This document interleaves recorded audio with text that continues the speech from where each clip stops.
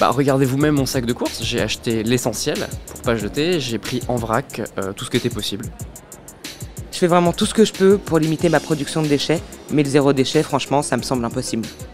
Je pense que nous avons à agir en tant que citoyens, bien sûr, mais c'est aussi aux industriels et à l'État de faire avancer les choses. C'est juste une question de volonté en fait. Je ne sais pas si vous connaissez les chiffres du gaspillage alimentaire, mais dans le monde, on jette un tiers de la nourriture qu'on produit. Rien qu'avec ce que l'Europe met à la poubelle, chaque année, on pourrait nourrir un milliard de personnes. Et quand on sait que presque 900 millions de gens souffrent de malnutrition, bah c'est la honte. En France, les pertes et le gaspillage alimentaire, ça représente 10 millions de tonnes de produits par an, soit 16 milliards d'euros. C'est 30 kilos par an et par personne, dont 7 kilos de déchets alimentaires non consommés et encore emballés. C'est un non-sens éthique, écologique et économique. Alors, quelles solutions pratiques mettre en place, individuellement et collectivement, pour réduire ce gaspillage et valoriser les déchets alimentaires? Pour en discuter aujourd'hui, j'ai à mes côtés Marion Noireau. Bonjour. Bonjour. Vous êtes chef de projet RSE à Biocop. Absolument. Et Moira Tourner, bonjour. Bonjour. Vous êtes responsable plaidoyer à Zero Waste France. Tout à fait. Alors, les chiffres du gaspillage alimentaire que j'ai donnés en introduction, euh, ils sont édifiants, j'ai envie de dire euh, honteux, encore une fois. Donc on peut s'interroger aussi beaucoup sur l'inaction des politiques, mais une loi a été votée en 2020, qui est la loi AGEC, anti-gaspillage pour une économie circulaire, avec un objectif euh, ambitieux, transformer notre système en profondeur, et oui carrément. Moira, c'est quoi l'objectif final de cette loi? En quoi est-ce qu'elle consiste? Alors la loi AGEC, anti-gaspillage pour une économie circulaire, son but c'est de vraiment lutter contre le gaspillage dans son ensemble, alimentaire mais pas seulement et de passer d'une économie linéaire, où c'est vraiment le système de production, on produit, on consomme, on jette, à une économie dite circulaire. On produit, on consomme, on réutilise, on répare, on réemploie, on recycle et on repart sur des cycles de vie qui sont vraiment prolongés pour éviter le moment où on va jeter. Euh, donc pour réduire ce gaspillage, elle nous fixe plusieurs grands axes, cette loi. Tout d'abord, elle veut réduire l'usage unique et notamment l'usage unique de plastique. Son objectif, c'est que d'ici 2040, on se passe du plastique à usage unique. Euh, elle vise aussi à développer le réemploi, la réparation. Elle a des objectifs pour euh, lutter contre l'obsolescence programmée et réduire la production de déchets dans son ensemble. En matière de gaspillage alimentaire plus particulièrement, la loi AGEC nous fixe un objectif de réduction de 50% du gaspillage alimentaire en 2030 par rapport au niveau qu'on avait en 2015.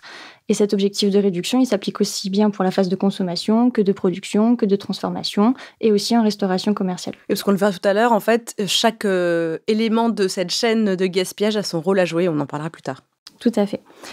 Après, ce qu'il y a à avoir en tête, c'est que cette loi AGEC, elle n'a pas trop creusé cette question du gaspillage alimentaire parce que quatre ans avant, on avait une loi, la loi Garot, qui, elle, s'était vraiment posé la question de ce gaspillage alimentaire et avait déjà posé des premiers jalons.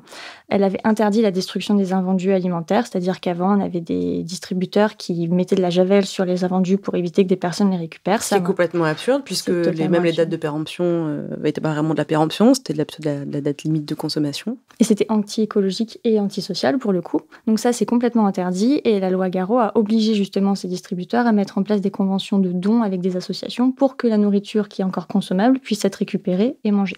Marion, cette loi Garot, qu'est-ce qu'elle a permis euh, d'autre, euh, à part euh, justement valoriser des invendus, par exemple? La loi Garot, elle a également introduit une hiérarchie des actions à mener en matière de lutte contre le gaspillage alimentaire. Donc, par exemple, elle donne la priorité à la prévention, puis au débouché en alimentation humaine par le don ou la transformation, et viennent ensuite, et seulement ensuite, la valorisation en alimentation animale ou énergétique. Et la destruction, c'est vraiment quelque chose qui est envisagé en dernier recours, et la loi, elle entend aussi renforcer les actions d'éducation et de sensibilisation du consommateur, qui est un point euh, extrêmement important euh, pour lutter contre le gaspillage alimentaire. Moira, est-ce qu'on doit compter uniquement sur, euh, sur une loi, sur un, corpus législatif pour changer de, paradigme? Alors la loi, donc là la loi Garot et la loi AGEC, elles donnent quand même des bases et elles sont importantes pour orienter les pratiques, les encadrer et donner l'impulsion dans la bonne direction. Donc c'est vraiment nécessaire. Mais bien sûr, ça suffira pas. Il faut que chaque acteur et chaque actrice de la chaîne joue son rôle. Déjà, l'industrie agroalimentaire a une énorme responsabilité dans le sujet puisqu'elle est responsable de deux tiers du gaspillage alimentaire. On a 32% de gaspillage en phase de production, 21% lorsque la nourriture est transformée et encore 14% en distribution. Ça, me semble énorme, pardon, mais alors 32% de gaspillage en production, une vingtaine de pourcents en transformation et 14% en distribution, mais Enfin, euh, il reste un tiers. Un tiers, c'est quoi? C'est le consommateur? Tout à fait. Le tiers restant, c'est la responsabilité des consommateurs et consommatrices. Ça nous est toutes et tous arrivé. On oublie un aliment dans le frigo, on le jette, on a oublié la date, etc. Et ça, ça représente quand même un tiers du gaspillage. Donc les consommateurs et consommatrices ont aussi, bien évidemment, un grand rôle à jouer. Faire attention à ne pas gaspiller lorsqu'ils vont manger aussi. La loi AGEC, dont on vient de parler longuement, elle vise aussi la réduction du gaspillage alimentaire dans le domaine de la distribution, ce dont vous parliez, euh, Moira. D'après l'ADEME, c'est, je le rappelle, 14% des pertes alimentaires. Euh, Marion, c'est quoi les pistes qu'on peut explorer ou, les mesures qu'on peut mettre en place justement côté distributeur, puisque vous êtes chez Biocop Alors côté distributeur, il y a effectivement euh, plusieurs leviers d'action euh, à actionner. D'abord, les distributeurs, ils ont un rôle d'influence à jouer sur toute la chaîne de la distribution en amont. Donc il y a vraiment l'opportunité de travailler avec les producteurs, avec les industriels pour réfléchir ensemble à comment est-ce que on peut faire d'un produit qui ne va pas être consommé une nouvelle matière première. Donc, par exemple, ça va être transformer des fruits abîmés euh, en confiture ou bien des légumes abîmés en soupe. Et de l'autre côté de la chaîne, il y a aussi un rôle à inciter, à inviter les consommateurs à consommer euh, des produits euh, peut-être abîmés ou bien mieux gérer leur frigo, cuisiner avec des restes ou ce genre de choses. Au niveau vraiment magasin, en amont de la surface de vente, donc du magasin, il y a aussi un levier qui est important, c'est la bonne gestion des stocks. Acheter la bonne quantité de produits, ça va être donc vendre aux consommateurs la bonne quantité de produits et d'éviter euh, de jeter. Il est aussi nécessaire de proposer des dispositifs pour que les consommateurs achètent la bonne quantité de produits. Donc euh, là, on pourrait citer par exemple le vrac, qui est vraiment un bon moyen pour acheter euh, pile la quantité dont on a besoin. Et parce que ça, c'est quand même assez vrai. Il y a des moments où moi j'ai l'impression de jeter des oignons parce que j'ai pas eu le choix de les acheter en vrac alors que c'est quand même des oignons. Quoi. Pas besoin d'un filet de 52 oignons. Je, ne vis pas avec 50 personnes. C'est ça. Et là, c'est l'exemple des oignons, mais ça peut fonctionner surtout sur des produits, par exemple, un peu spécifiques euh, comme de la farine de manioc. Si on n'en utilise pas au quotidien dans nos recettes, on n'a pas forcément besoin d'acheter un kilo entier, alors que euh, peut-être que 100 grammes ou 200 grammes vont être suffisants pour une recette très spécifique. Et c'est bon pour le portefeuille aussi. Exactement, c'est l'intérêt du vrac. Et enfin, donc il y a une vraie, euh, une vraie action qui peut être menée au niveau de la sensibilisation euh, des consommateurs. De quelle manière Avec euh, quoi des, brochures distribuées en magasin, des recettes disponibles en ligne, des gestes à, à accomplir?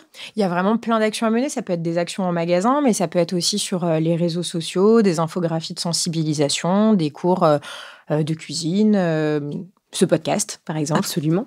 Et qu'est-ce que Biocop a déjà mis en place euh, de son côté? Alors nous, comme tous les magasins Biocop sont indépendants, ils sont vraiment libres de mettre en place les actions qui leur semblent les plus adéquates euh, en fonction de leur situation. Mais il y en a beaucoup d'actions qui sont euh, déjà mises en œuvre. Il y en a deux qui sont dans tous les magasins. Déjà, c'est le vrac. la vente en vrac chez Biocop, c'est depuis 30 ans, ça ne cesse de croître et c'est 500 références. Et comme je le disais tout à l'heure, acheter en vrac, c'est vraiment acheter la bonne quantité et donc éviter de jeter ce dont on n'a pas besoin et la sensibilisation des consommateurs qu'on a également euh, évoqué tout à l'heure, que ce soit en magasin, sur les réseaux sociaux, c'est vraiment une action qui est très importante. Euh, nous, en magasin, on peut retrouver par exemple des expositions sur euh, le gaspillage alimentaire, des cours de cuisine anti-gaspi ou ce genre de choses. Oui, souvent en fait, c'est pas qu'on veut pas, c'est qu'on sait pas. Je crois que ça commence par là. On sait pas ce qu'on peut faire avec un légume qui est un petit peu, commence un peu à moisir ou qui fait un peu la tronche, des herbes qui sont un peu défraîchies, du yaourt qui est périmé. Bon, Exactement. Et en fait, il y a plein d'astuces que les magasins connaissent, puisque eux, ils sont au quotidien en contact avec les produits. Les consos n'en ont pas forcément connaissance. Donc, euh, le fait de discuter avec les consommateurs et d'échanger avec eux, bah, ça permet de les sensibiliser, tout simplement. Il y a aussi les, sticks, euh, ce qu'on appelle les sticks. Moi, je vois dans des magasins traditionnels aussi de plus en plus. Qu'est-ce que c'est les sticks Ouais, c'est ça. Les sticks, c'est euh, des petites étiquettes qu'on met sur les produits, donc moins 30, moins 20%, et ça permet de d'identifier en fait. Euh. Exactement, ça permet aux consommateurs en fait de voir des produits qui vont bientôt arriver euh, à péremption et donc de pouvoir euh, les acheter pour les consommer tout de suite ou les congeler. Et on a aussi en magasin des paniers de produits à date courte qui sont proposés aux consommateurs via des applications anti-gaspi, toujours dans la même logique, consommer des produits qui arrivent bientôt à péremption. Et enfin, quand on a réduit au maximum euh, le gaspillage alimentaire chez Biocop, on valorise euh, les déchets alimentaires. Et par exemple, euh, là, tous les sociétaires de Biocop se sont engagés à ce qu'en janvier 2023, 100% des magasins Biocop mettent en place une solution de valorisation des biodéchets en magasin. C'est concrètement, c'est quoi cette valorisation Elle consiste en quoi? Par exemple, dans un magasin Biocop du réseau, eh bien, il y a un partenariat qui a été mis en place avec une association qui vient récupérer les biodéchets, donc les déchets alimentaires du magasin, mais également de ceux des clients qui peuvent les ramener en magasin. Et ensuite, c'est du compost qui est réalisé et ce compost est utilisé pour un jardin partagé qui sert à sensibiliser les écoles aux alentours sur l'agriculture biologique, l'agroforesterie, ce genre de choses. Un cercle vertueux, quoi. Exactement. Donc on parlait de, nous, consommateurs et consommatrices, euh, Moira. Comment est-ce qu'on on peut agir, nous, alors là, d'un point de vue très individuel, euh, on va dire, euh, au quotidien, pour moins nourrir nos poubelles? Alors là, il y a tout un ensemble de pratiques à mettre en place vraiment à chaque étape de notre consommation. Comme le disait Marion, c'est intéressant d'acheter en vrac parce que bah, c'est la juste quantité qu'on achète, pas besoin d'acheter le kilo de farine quand j'ai besoin que de 200 grammes. Et comme euh, tu le disais Marion, c'est aussi très intéressant pour le porte-monnaie. C'est intéressant aussi de réaliser des menus pour la semaine plutôt que de dire bon je vais au magasin, qu'est-ce que j'achète et repartir avec 300 euros de courses qu'on va gâcher. Bah, on a nos menus, on achète ce dont on a besoin et comme ça il y a pas S'organiser quoi. Exactement ce qui permet aussi de savoir dans la semaine ce qu'on va manger, ce qui est très pratique. Et euh, comme le disait Marion, c'est aussi intéressant d'aller voir les produits avec les petits stickers euh, où on a une réduction, donc toujours intéressant pour le porte-monnaie. Et on sait que ce soir, on va manger euh, bah, ce produit qui va être périmé demain, donc comme ça, il n'y a pas de gâchis. Nous, on a payé moins cher et c'est très bien. En phase de stockage, euh, c'est important de bien organiser son frigo. Comme en magasin, normalement, on évite de mettre euh, derrière les produits qui vont être périmés le plus vite. Bah, pareil, nous, dans le frigo, il faut qu'on fasse bien attention à mettre devant les produits qui vont être périmés le plus vite. Et pour ça, on a des indications qui sont données sur les produits. On a les DLC, d'une part, qui nous donnent les dates limites de consommation. Oui, alors ça, attention, il faut que tout le monde écoute bien, parce que je crois qu'il y a encore beaucoup de confusion autour de ces DLC, DLU, etc. Dites-nous. Tout à fait. Alors, d'une part, on a la DLC à laquelle il faut faire attention, c'est la date limite de consommation là, ça nous dit l'aliment est à consommer jusqu'au et après il sera plus bon, ça va pas nous faire du bien d'en manger. Typiquement le poisson, la euh, viande, etc. Tout à fait. De l'autre côté, on va avoir la DDM, donc la date de durabilité maximale, qui était avant la DLUO, la date limite d'utilisation optimale. Là, c'est de préférence à consommer jusqu'au. Typiquement, euh, le yaourt, eh ben, il va être meilleur en le consommant jusqu'au, mais on peut toujours le consommer deux jours après, on va pas en mourir non plus. Et d'autre part, euh, c'est intéressant aussi de congeler des aliments. On a fait des trop grosses quantités, bah, c'est pas grave, on met au congélateur, on pourra en remanger dans un mois, on s'ennuie pas en termes de repas, et puis comme ça, c'est pas gâché.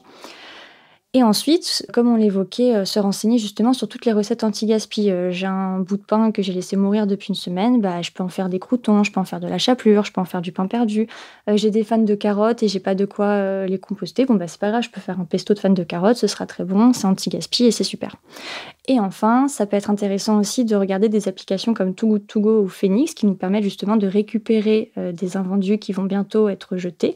Oui, et en plus, c'est vraiment plein de boutiques, magasins différents. On peut aller dans des, dans des supermarchés, des boulangeries, euh, des bars à salade, enfin il y a des pizzas, enfin il y a vraiment, il y en a pour tous les, pour tous les goûts. Il y a de plus en plus d'acteurs et d'actrices de la restauration, de la distribution, etc. qui s'y mettent et c'est hyper intéressant pour les consommateurs et consommatrices parce qu'encore une fois, c'est des produits qu'on paye moins cher, on sait ce qu'on mange ce soir et c'est bien de faire ça. Marion, vous vouliez Sur la DLC la DDM, il y a aussi une initiative qui est hyper intéressante, c'est de rajouter sur le pack des produits ouvrez, sentez le produit. Donc ça veut dire que même quand la date elle est un tout petit peu passée, euh, le produit n'est pas forcément euh, plus bon, complètement moisi. Et du coup, c'est comment éduquer le consommateur à aussi voir que bah, si le produit ne sent pas mauvais, bah, en fait, il est encore consommable. On a donné plein de pistes, plein de leviers d'action pour éviter de, gaspiller la nourriture, que ce soit du côté euh, de la distribution ou de la consommation, pour nous, consommateurs et consommatrices. Donc, on peut acheter des DLC courtes, on peut stocker mieux dans le frigo, on peut faire attention à ce qu'on achète, des recettes anti-gaspi, mais c'est vrai que quand on regarde nos poubelles, si on met le nez dedans, c'est quand même pas très vertueux, on a quand même beaucoup beaucoup de déchets qui restent, notamment les épluchures. On a l'impression qu'en fait atteindre cette espèce de, zéro sacré, euh, de l'anti-gaspi, du zéro déchet, c'est pas évident. Euh, alors que dans nos poubelles, c'est 30% les déchets alimentaires. C'est quand même énorme, Moira. Actuellement, dans beaucoup de foyers, effectivement, tous nos biodéchets, nos déchets alimentaires, donc ceux qu'on a gâchés, mais aussi tout simplement nos épluchures de fruits et légumes, on les jette dans notre poubelle noire, notre poubelle de tout venant, mélangée avec plein d'autres choses. Ces poubelles, actuellement, elles ont pour destination soit l'incinérateur, soit la décharge faut pas oublier que ces 30% de biodéchets, c'est des choses qui sont composées majoritairement d'eau. Donc quand on les envoie à l'incinérateur, on brûle de l'eau, ce qui est quand même particulièrement euh, ah oui, c'est un peu absurde, pas intéressant. Et quand on les envoie en décharge, et bah justement, cette eau, elle va ruisseler, elle est mélangée à plein d'autres déchets qui vont donner des petits métaux, du plastique, des microplastiques, etc. Et ça, ça fait des jus de décharge qui ruissellent dans les sols après. Donc on a des bâches pour protéger, mais c'est quand même pas très optimal. Et donc ça, c'est problématique parce qu'on pourrait en faire autre chose de ces biodéchets. Donc là, la loi, elle nous dit que d'ici le 31 décembre 2023, on est censé avoir la généralisation du tri à la source des biodéchets pour qu'au moment de jeter nos épluchures de fruits et légumes ou bien éventuellement nos restes alimentaires, même si c'est pas terrible, on puisse vraiment les séparer de la poubelle de tout venant où on met tout en vrac. On aurait une nouvelle poubelle après celle pour le verre, le recyclage euh, carton, plastique. On aurait aussi une poubelle biodéchets, c'est ça? Alors soit une nouvelle poubelle, soit l'accès à des solutions de compostage directement. On va en parler justement. Marion, comment on les valorise ces biodéchets? Il y a plein de solutions pour valoriser euh, ces biodéchets. Euh, la meilleure, c'est de rendre à la terre. Donc, euh, quand on est dans une maison, quand on a de l'espace, par exemple, on peut faire un compost ou un lombricompost individuel. Il faut se rapprocher des mairies parce que souvent, elles donnent des dispositifs pour faire du compost ou du lombricompost euh, gratuitement, donc ça peut être intéressant. Quand on est plutôt dans un immeuble ou dans un habitat collectif, on peut faire du compost collectif. Donc là, ça peut être par exemple mettre en place euh, un compost dans une cour d'immeuble. Il y a aussi le bokashi, qui est un espèce de petit composteur qu'on peut facilement ranger dans un placard et ou sous son évier. Ou sous son évier, voilà. C'est un petit peu différent du lombricomposteur parce qu'il n'y a pas de petits verres, ce qui peut en rebuter oui, ça peut dégoûter quelques personnes, je comprends. Donc ça pourrait être une alternative intéressante pour ceux qui n'ont pas envie d'avoir des petits petite euh, bestiole à la maison. Euh, bien que le compost ou le lombricompost, ça sente euh, pas du tout quand il est bien fait. Et ensuite, dans certaines villes, il y a des collectes de biodéchets qui sont organisées. Donc là, c'est effectivement le fait d'avoir une poubelle en plus, en plus de la poubelle jaune, de la poubelle noire, c'est d'avoir une poubelle de biodéchets. Et ça, en général, ça permet de faire du gaz. Par exemple, à Paris, il y a les hum, camions des poubelles qui roulent au gaz réalisé grâce aux biodéchets euh, des habitants de la ville de Paris. Je ne savais pas du tout. Il y a aussi une petite astuce euh, qui peut être intéressante euh, quand on veut valoriser ces biodéchets. Souvent, on a des petites mouches qui peuvent se développer avec la chaleur, puisque les biodéchets ils sont dans le sac depuis longtemps. Et eh ben on peut le mettre au congélateur et en fait ça congèle les biodéchets, donc ça évite qu'il y ait des petites mouches qui se développent et ça peut être un, vrai truc à faire pour favoriser la collecte des biodéchets à part. Très bonne astuce. Alors, on parlait de, collecte, on parle de collectivité. Euh, vous parliez d'une loi, Moira, qui obligera à des solutions de valorisation euh, des, biodéchets. Il euh, va falloir s'y mettre, hein, parce que c'est bientôt décembre 2023. Décembre 2023, c'est demain, et effectivement, les mairies vont devoir mettre à disposition des citoyennes et des citoyens soit la poubelle séparée, soit l'accès à la solution de compostage en bas du jardin, avec le lombricomposteur ou le bokashi dans l'appartement. Donc là, en tant que citoyen, citoyenne, il ne faut pas hésiter à aller demander aux mairies ce qu'elles ont prévu pour peut-être mettre le coup d'accès et puis pouvoir savoir ce qui se prépare. Oui, parce qu'en en fait, il faut, on a parlé de toute la chaîne d'acteurs et d'actrices justement de cet euh, objectif zéro gaspille, zéro déchet, parce qu'il faut quand même rappeler que les solutions individuelles, bah, c'est largement insuffisant. C'est avec les engagements collectifs, des lois qu'on finira par changer de paradigme. Merci Marion Noireau. Merci à vous. Merci Moira Tourneur. Merci Nora. Et moi je vous dis à bientôt pour un nouvel épisode de Plus bio la vie. Ciao